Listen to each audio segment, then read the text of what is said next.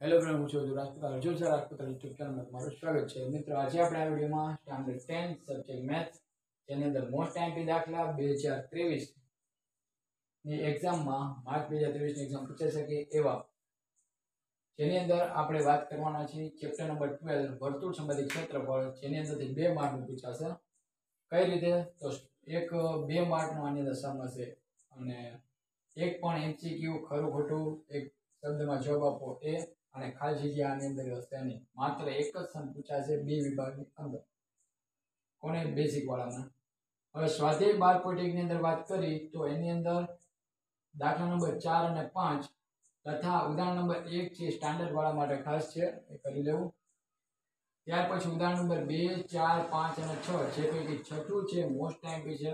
બરાબર? એક વખત જોઈ લેવું પછી સ્વાધ્યાય બાર પોઈન્ટ બે, એની અંદર દાખલો પહેલો, ચોથો અને પાંચમો તથા ચૌદમો દાખલો. આટલા જ દાખલા તમારે કરવાના રહેશે. જે પૈકી પાંચમો દાખલો જે ખાસ કરી લેજો. ઘણી વખત પૂછાઈ ગયો છે. મોસ્ટ ટાઈમ છે સ્ટાન્ડર્ડ માટે વાત કરીએ તો દાખલો સાત, આઠ, દસ અને તેર.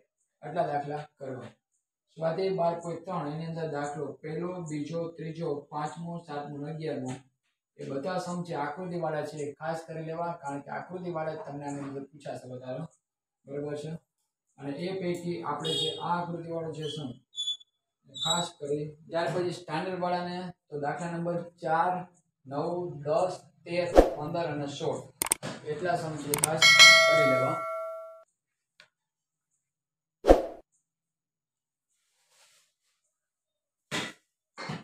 હવે આપણે વાત કરતા હતા કે આકૃતિવાળા કયા સમ કરવા. તો આકૃતિવાળો જે આ સમ છે, એની અંદર આપણે રેખાંકિત ભાગનું ક્ષેત્રફળ વાળું કહેશે. પછી એક બીજો સમ જે છે તો આની અંદર તમને લઘુવૃત્તાંશનું જે ક્ષેત્રફળ છે ફાઇન કરવાનું. ચાર લઘુવૃત્તાંશ ચોરસના ક્ષેત્રફળ અને એમાંથી ચાર લઘુવૃત્તાંશ ક્ષેત્રફળ માઇનસ કર્યા પછી જે વધેલો ભાગ હોય એનું ક્ષેત્રફળ ફાઇન કરવાનું. એ સમ ખાસ કરી લેવો. ત્યાર પછી એક અવો છે સમ આપેલો.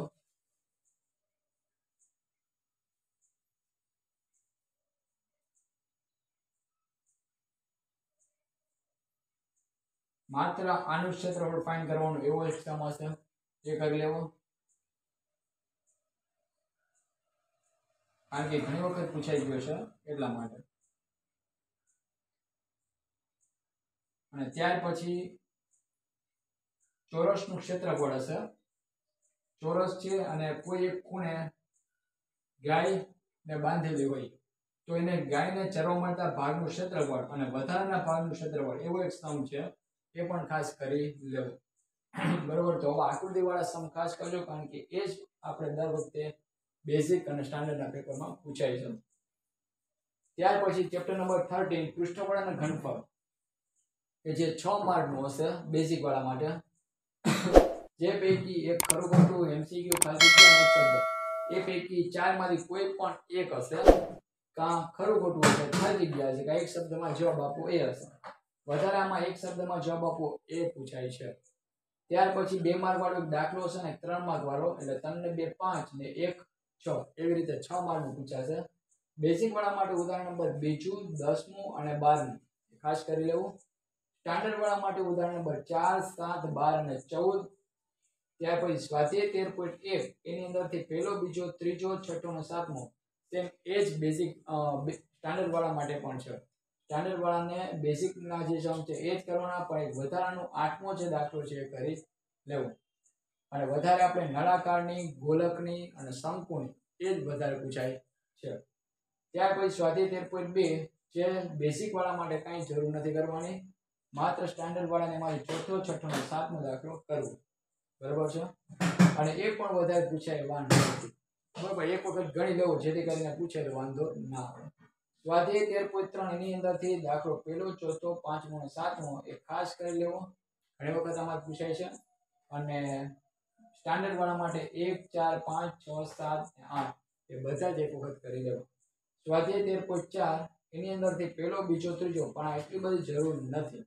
આપણે માત્ર તેર પોઈન્ટ એક અને બે ઉપર જ બેઝિક વાળાએ ધ્યાન આપવાનું છે.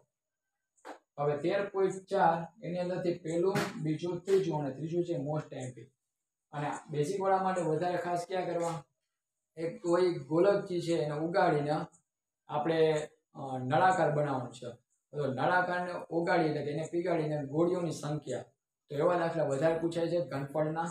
અને બીજું ક્ષેત્રફળની વાત કરી, તો નળાકારની વક્ર સપાટીનું ક્ષેત્રફળ, પછી ગોલકનું પૃષ્ઠફળ, અને ત્યાર પછી નળાકારની વક્ર સપાટીનું અને કુલ પૃષ્ઠફળ, એ બંને કરી લેવા.